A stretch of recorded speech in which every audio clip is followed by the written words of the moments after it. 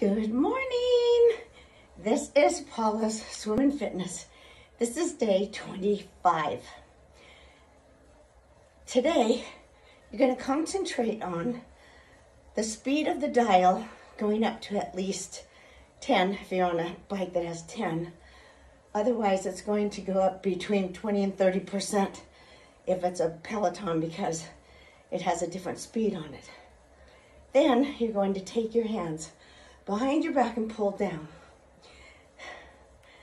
You're going to consider the toe and pull it up. So you're using a different part of the quadricep.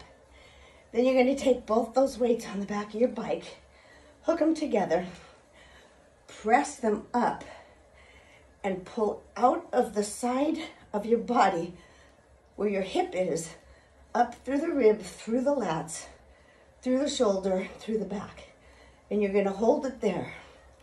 We're gonna train the abdomen today to be stronger and longer so that it supports your back.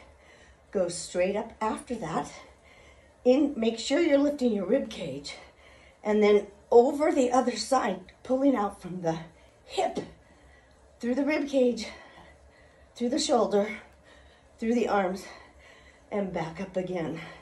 You're gonna repeat it so go five, four, three, two, straight up, four, three, two, other side, four, three, two, straight up, four, three, two, where you started, four, three, two, straight up, four, three, two, other side, four, three, two, drop it down. Okay, lift that rib even when you're putting your weights away. Lift that rib, shoulders are back. Hold that ab in. See you tomorrow. Have a good day.